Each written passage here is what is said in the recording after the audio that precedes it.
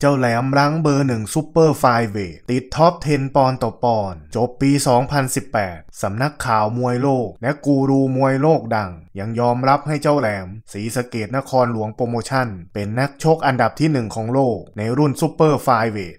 115 ปอนด์และติดอันดับท็อป 10 นักชกยอดเยี่ยมของโลก เมื่อเทียบปอนด์ต่อปอนด์สำนักข่าวมวยโลกดัง และกูรูมวยโลกสถาบันต่างๆ ที่เป็นที่ยอมรับจัดอันดับนักชกยอดเยี่ยม หลังจบปี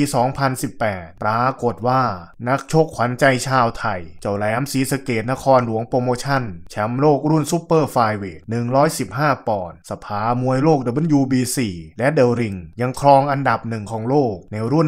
115 ปอนด์และติดท็อป 10 นักชกยอดเยี่ยมของโลกเมื่อเทียบปอนด์ต่อปอนด์โดย The Ring สำนักข่าวมวยโลก ซึ่งเป็นที่ยอมรับในวงการมวยโลก จนได้ฉายาว่าคัมภีร์มวยโลก ให้เจ้าแหลมรั้งอันดับที่ 1 ของโลกในรุ่น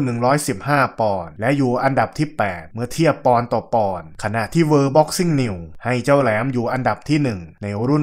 115 ปอนด์ โดยมีดอนนี่เนียเตสจากฟิลิปปินส์ที่เพิ่งคว้าแชมป์โลกรุ่นที่ 4 ด้วยการเอาชนะคาซึโตะอิโอกะคว้าแชมป์โลกรุ่น 115 ปอนด์ WBO อยู่อันดับที่ 2ตามมาด้วยโรมันกอนซาเลสในอันดับที่ 3 ส่วนอันดับที่4ฮวนฟรานซิสโก เอสตราดา และอันดับที่ 5 เจอร์วินอันคาฮาสส่วน BoxingScene ให้เจ้าแหลมศรีสะเกษ นครหลวงโปรโมชั่น เป็นนักชกอันดับที่ 6 ของโลก เมื่อเทียบปอนด์ต่อปอนด์ และสุดท้าย BoxRec ผู้รวบรวมสถิติมวยโลก เป็นที่ยอมรับทั่วโลก และสถาบันมวยหลักใช้อ้างอิง ในการจัดอันดับนักชกนั้น ให้เจ้าแหลมศรีสะเกษ รั้งเบอร์หนึ่งในรุ่น